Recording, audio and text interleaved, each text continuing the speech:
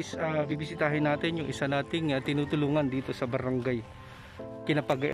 So samahan niyo ako at uh, bibisitahin natin yung isang uh, kailangan nating tulungan. And uh, hopefully sa mga darating na araw, samahan niyo ako sa gagawin kong Seven Island for a cause. So ngayon, may dala tayong tent. Siyempre, mga gamit and then Alright. So, let's go.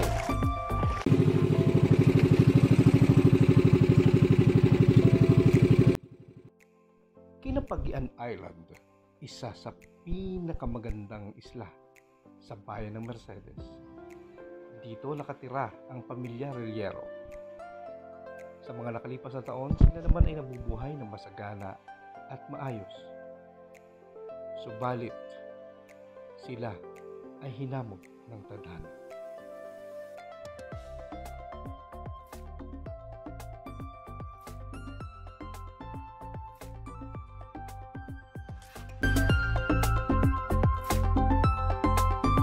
Ang hamon ay dumating sa pamilya. Tatlong taon pa lamang noon si Baby Relian nang siya ay magkaroon ng kakaibang karamdaman maintindihan kung bakit hindi normal ang kanyang. Ngayon, siya ay 16 anyos na. Subalit, hindi na-develop ang kanyang pangangalawa at patuloy siya sa kanyang dusa na pinagdaraanan at hindi na rin kayang gustusan ng pamilya ang atensyong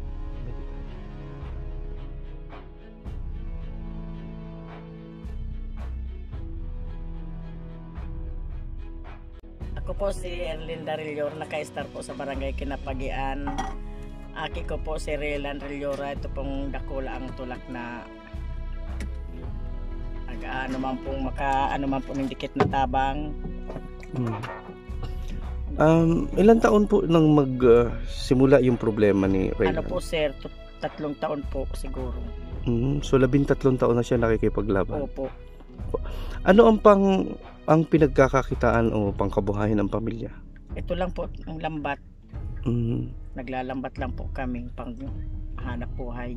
magkano naman po ang kinikita So, kung Minsan sakali? po may 300, may na 500 man po pag medyo mahal ang sira. Mhm. And then araw-araw po ba nakakahuli? Bihida po sir, minsan tatlong beses lang sa isang linggo. Mhm. Tapos katulad ngayon wala tayong Opo, huli. Wala. Opo. So baka po meron kayong panawagan, nay. Sa mga gusto pong tumulong sa amin.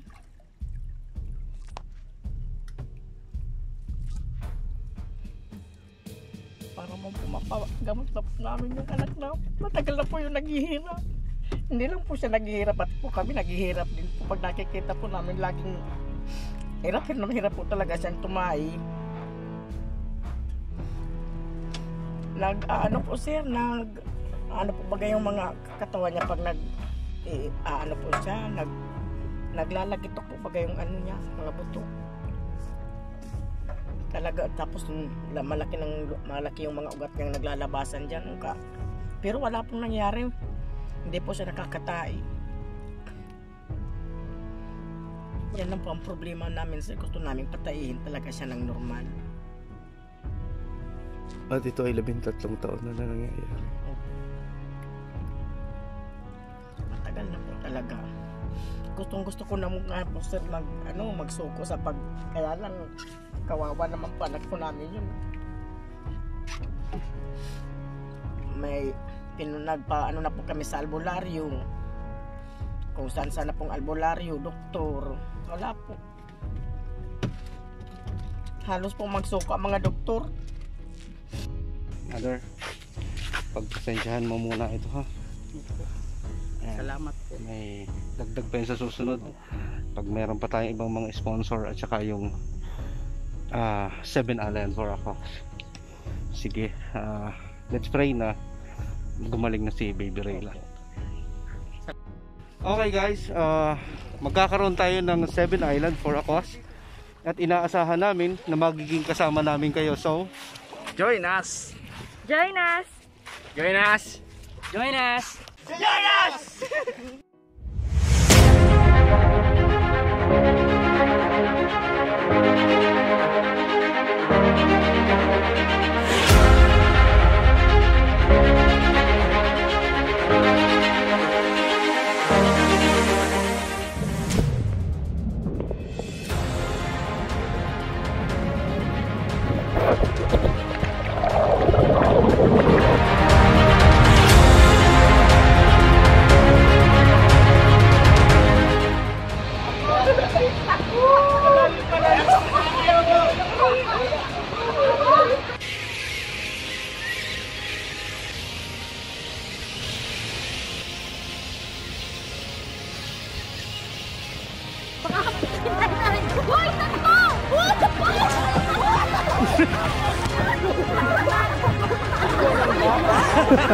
ano nangyari?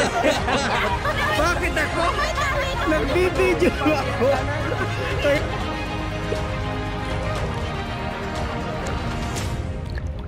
Ito ka uman ka. Alam! Alam!